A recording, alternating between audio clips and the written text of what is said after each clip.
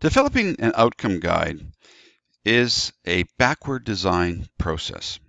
And the reason we call it backward design process is that you start with who your learner will become, what your learner will be able to do, and from that you establish a purpose and you write your intended or your learning outcomes. And it's from these learning outcomes that you then focus on the assessments that you'll do to show whether or not they've satisfied that outcome. And then you'll also identify the activities or the skills, the abilities that are necessary uh, for the student to be successful in achieving that outcome. Um, in the outcome guide for this course, we also um, have a section where you take a look at the concepts and issues. And this is the area of what the student must understand uh, in order to be able to work through towards their intended outcome. And these guide and direct some of the instructional activities that you will do within your course or your workshop. And so that guides that. The prerequisites is really, you know, what do people need to understand before they even get into your course. So this backward design process um, is, is really important for you to understand and follow. And this template here uh, that we've provided has some additional explanations to it that I would encourage you to take a look at. But get a sense of how this works because a practical application of this backward design process is realized within the course outcome guide or the chart for this course for 3210. So if we take a look at the final column here um, on the right hand side, here are the course outcomes that we've uh, talked about a variety of times. You can see them in the syllabus.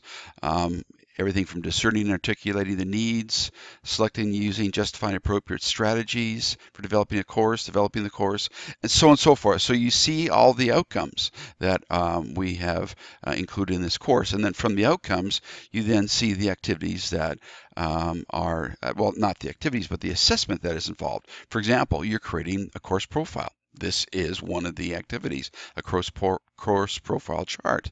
Um, you're doing a rationale. You are doing a lesson plan. You are doing a syllabus. You are doing journal entries. So these are the assessment activities that we use in the course.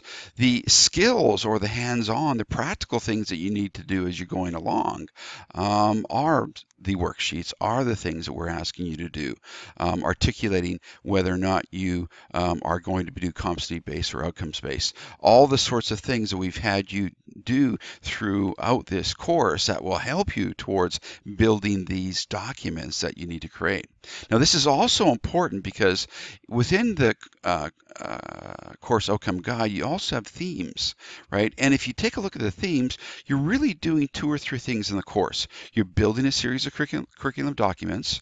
You're preparing a rationale for why you've done the things that you do to justify what decisions you've made about your curriculum design uh, methodologies you want to use, and you're reflecting on those things. So those three themes really sort of are the overarching things that you're going to be doing, and and sort of covers off all the activities within the within the course. Um, the basic concepts and issues. This is the stuff. This is the information. This is the you know PDFs that we're having you read. These are the short little video clips that we're creating for you. This is the instructional methodology and the instructional resources, the readings that we have you take a look at, the things that you need to consider that you need to understand in order to be able to move down this path. Understanding how to create a learning outcome, understanding the steps, all these basic as, uh, concepts and issues um, that are part of the instructional process. Now, there's one other key thing that you need to include within your course outcomes guide, and that is the main instructional strategies that are used in the course. Okay, uh, we've provided a PDF that identifies these, um, and you know, take a look at some of the things that you're going to be doing. Now, in the face-to-face class, you're doing in-class workshops, you're interacting with the instructor, you're doing homework. Well, you're doing the same thing online. It's really not that different. You know, you have activities you're doing in the class. You're interacting with with, with the instructor. If you remember, I'm continually asking you to contact me, set up a time we can Skype or Zoom, right? You've got different activities that you need to do. You need to take a look at and research different things um, in your own scenario in terms of what you need to do. You're discussing and debriefing your ideas. You're reflecting your journaling. These are the main instructional strategies that are used in this course. So think about your experience in this course and use it as a wonderful example that you can use for your own um, outcomes-based uh, course guide or course profile chart that you are developing.